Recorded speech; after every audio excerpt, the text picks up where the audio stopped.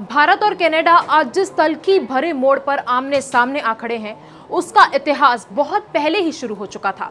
दरअसल 80 के दशक में खालिस्तानी आतंकियों की कनाडा में बढ़ती गतिविधि से आगाह करते हुए भारत ने कुछ आतंकियों को भारत को सौंपने की बात कही थी।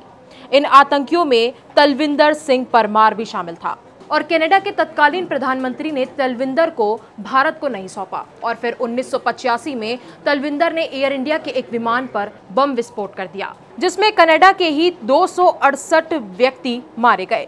भारत की चेतावनियों को नजरअंदाज करके कनाडा ने आत्मघाती भूल की थी। वो आज भी करता जा रहा है। साथ ही इससे आगे बढ़कर उसने भारत को आँखें दिखाने की कोशिश की है, जो खालिस्तानी आतंकियों को लेकर कनाडा से चिंता जताता रहा है। ऐसे ही एक आतंकी हरदीप सिंह निज्जर को लेकर कनाडा ने जो बवाल काटा है, वो आज दुनिया के सामने है। निज्जर की हत्या का आरोप भारत पर लगाकर कनाडा भारतीय डिप्लोमेट को अपने देश से निकाल देना। फिर भारत की ओर से कनाडाई डिप्लोमेट का निष्कासन और फिर वीज़ा पर बैन लगा देना। कुल मिलाकर ट्रूडो के उकसाने से भारत और कनाडा के रिश्ते दाव पर लग गए हैं। तो आइए जानते हैं कि भारत और कनाडा के बीच की इस दूरियों के पीछे की क्या है पूरी कहानी। कनाडा के प्रधानमंत्री जस्टिन टूडो ने अपने देश की संसद में एक बयान में कहा कि इस साल जून में हुई हरदीप सिंह निज्जर की हत्या में भारत का हाथ होने के विश्वसनीय आरोप हैं। ट्रूडो ने एक आपातकालीन सत्र में कहा, कनाडाई धरती पर एक कनाडाई नागरिक की हत्या में किसी भी विदेशी सरकार की भागीदारी हमारी संप्रभुता का अस्वीकार्य उल्लंघन है। ये उन मौलिक नियमों के विपरीत है जिनके द्वारा स्वतंत्र, खुले और लोकतांत्रिक समाज अपना आचरण करते हैं। और फिर कनाडाई प्रधानमंत्री ट्रूडो के आरोप को सिरे से खारिज करते हुए भारत सरकार ने निज्जर की हत्या में अपना हाथ होने से साफ़ इनकार किया। भारतीय विदेश मंत्रालय ने कहा, कनाडा के पीएम जस्टिन ट्रूडो द्वारा दिए गए ऐसे बयान खालिस्तानी आतंकवादियों और चरमपंथियों से ध्यान हटाने की कोशिश है, जिसे कनाडा में आश्रय मिलता रहा है। ये खालिस्तानी आतंकवादी और चरमपंथी, भारत की संप्रभुता और क्षेत्रीय अखंडता के लिए खतरा बने हुए हैं। कनाडा के कई राजनेताओं ने खालिस्तानी आतंकवादियों और चरमपंथियों के प्रति नर्म रवैया अपनाया है, जो एक चिंता का विषय है। उसके बाद कनाडा ने अपने प्रधानमंत्री ट्रूडो के बयान के बाद ओटावा में शीर्ष भारतीय डिप्लोमेट पवन कुमार राय को निष्कासित कर दिया और उन्नीस बेंच के पंजाब कैडर के आईपीएस अफसर हैं और वर्तमान में कनाडा में भारतीय खुफिया एजेंसी रिसर्च और एनालिसिस विंग, यानी कि रॉ में स्टेशन प्रमुख के रूप में तैनात थे। भारतीय खुफिया अधिकारी के निष्कासन की कनाडा की सार्वजनिक घोषणा को दुर्लभ मामले के रूप में देखा जा रहा है, क्योंकि ऐसे मुद्दे को आमतौर पर विवेकपूर्ण तरीके से संभाला जाता है। कनाडा की कार्यवाही का जवाब भारत ने उसी की भाषा में दिया। विदेश मंत्रालय ने नई दिल्ली स्थित कनाडाई उच्चायुक्त कैमरून मैके को तलब किया। एमईए ने मैके को कनाडा सरकार की कार्यवाही की प्रतिक्रिया के रूप में भारत सरकार के जवाब से अवगत कराया और एक सीनियर डिप्लोमेट को निष्कासित करने का फैसला किया।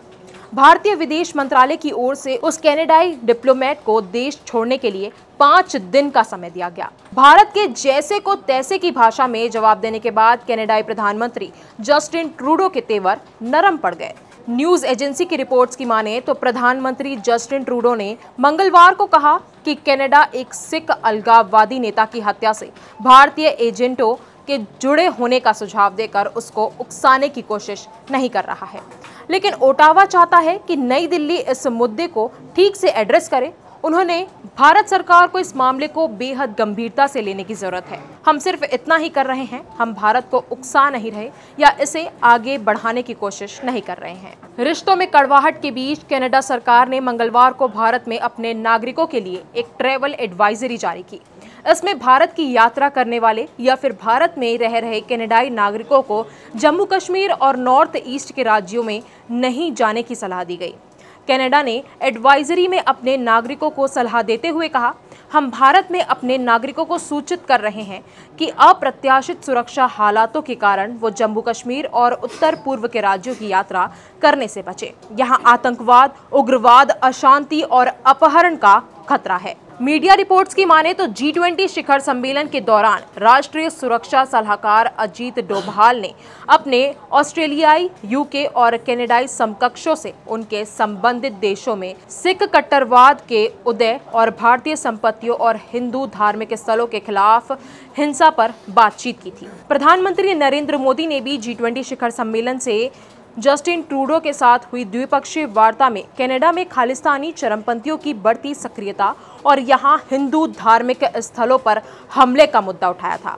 भारत के विदेश मंत्रालय ने कनाडाई उच्चायुक्त कैमरून मैके से कहा, ये कदम हमारे आंतरिक मामलों में कैनेडाई डिप्लोमेट के हस्तक्षेप और भारत विरोधी गतिविधियों में उनकी संलिप्तता को लेकर हिंदुस्तान की बढ़ती चिंता को दर्शाता है। हम आपको आपकी जानकारी के लिए बता दें कि हरदीप सिंह निज्जर को भारत की सुरक्षा एजेंसियों ने भगौड़ा और आतंकवादी घोषित कर रखा था। राष्ट्रीय जाँच एजेंसी यानी कि रॉ की तरफ़ से निज्जर पर 10 लाख का इनाम घोषित कर रखा था। कनाडा एक प्रभावशाली सिख समुदाय का घर है और भारतीय नेताओं का कहना है कि वहाँ कुछ कट्टर समूह हैं जो अब भी भारत से अलग होकर बने हुए हैं।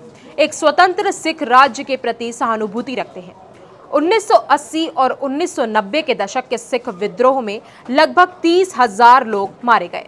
और 1985 में कनाडा से भारत आ रहे एयर इंडिया बोइंग सात पर बमबारी के लिए सिख आतंकवादियों को दोषी ठहराया गया था, जिसमें फ़्लाइट में ट्रेवल कर रहे सभी तीन सौ उनतीस लोग मारे गए थे। कनाडा में 14 से 18 लाख भारतीय मूल के लोग रहते हैं। भारत में पंजाब के अलावा कनाडा में सबसे ज़्यादा सिख रहते हैं। इसलिए जब जी ट्वेंटी समिट में हिस्सा लेने के लिए कनाडाई प्रधानमंत्री जस्टिन ट्रूडो भारत आए थे तो उनकी पीएम मोदी से मुलाकात में ये मुद्दा भी उठा था। जानकारों ने कहा कि दोनों नेताओं की मुलाकात तनावपूर्ण रही थी। इस बैठक के बाद भारत सरकार की ओर से जारी बयान में कहा गया था कि प्रधानमंत्री नरेंद्र मोदी ने कनाडा में भारत विरोधी गतिविधियों पर काबू पाने के लिए वहाँ की सरकार की ओर से ज़रूरी कदम नहीं उठाने का आरोप लगाया था। इस मुद्दे पर अपनी नाराज़गी भी ज़ाहिर की थी। हाल ही में हरदीप सिंह निज्जर तीसरा ऐसा खालिस्तान समर्थक नेता था जिसकी मौत हुई। इसी साल जून महीने में ही ब्रिटेन में अवतार सिंह खांडा भी बर्मिंगम में रहस्यमय परिस्थितियों में मृत पाया गया था। वो खालिस्तान लिबरेशन फोर्स का मुखिया था। लाहौर में भी परमजीत सिंह पंजवार की हत्या कर दी गई थी। परमजीत को भारत सरकार ने आतंकवादी घोषित किया हुआ था। हरदीप सिंह निज्जर की इसी साल कनाडा के ब्रिटिश कोलंबिया में एक गुरुद्वारे के बाहर गोली मारकर हत्या कर दी गई थी। भारत और कनाडा के संबंधों में तनाव के बीच मंगलवार को नई दिल्ली में कनाडा उच्चायोग की सुरक्षा बढ़ा दी गई। कनाडाई उच्चायोग के बाहर केंद्रीय रिज़र्व पुलिस और दिल्ली पुलिस के कई कर्मियों को तैनात किया गया था। तो वहीं गुरुवार को व्हाइट हाउस में पत्रकारों से बात करते हुए अमेरिका के राष्ट्रीय सुरक्षा सलाहकार जैक सुलिवन ने सख्त लहजे में कहा कि अमेरिका अपने बुनियादी सिद्धांतों के लिए खड़ा रहेगा, चाहे इससे कोई भी दिशा प्रभावित हो। सुलिवन ने पत्रकारों को संबोधित करते हुए कहा यह हमारे लिए चिंता का विषय है। ये एक ऐसा मामला है जिसे हमने गंभीरता से लिया है। मामला ऐसा है कि हम इस पर काम करना जारी रखेंगे और किसी देश की परवाह किए बिना हम ऐसा करेंगे।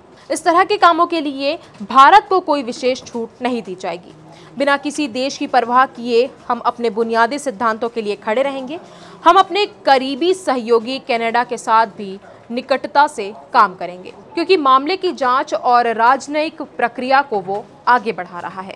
इससे पहले एक प्रेस ब्रीफिंग में सुलिवान ने कहा था कि अमेरिका कनाडा में एक हत्या में भारत सरकार के एजेंटों के बीच संभावित लिंक को लेकर बहुत ज़्यादा चिंतित है, जो जाँच का पूरा समर्थन करता है। अपराधियों को न्याय के कटघरे में लाना चाहता है और अमेरिका दोनों सरकारों के संपर्क में है। जैसे ही हमने कनाडाई पीएम से आरोपों के बारे में सुना, हमने सामने आकर इस आरोप पर अपनी चिंता व्यक्त की।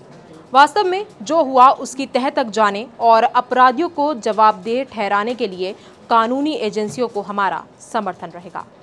तो क्या वाकई कनाडा भारत से झगड़ा मोड़ लेकर अपना नुकसान कर रहा है? और क्या अमेरिका के इस बयान के बाद भारत और अमेरिका के रिश्ते के बीच दरार पड़ सकती है? इस पर आपकी क्या राय है? हमें कमेंट कर ज़रूर बताइए। और अगर आपको हमारा ये वीडियो पसंद आया हो तो इसे लाइक और शेयर ज़रूर करें। और हमारे चैनल खबर बेबाक को सब्सक्राइब करना ना भूलें।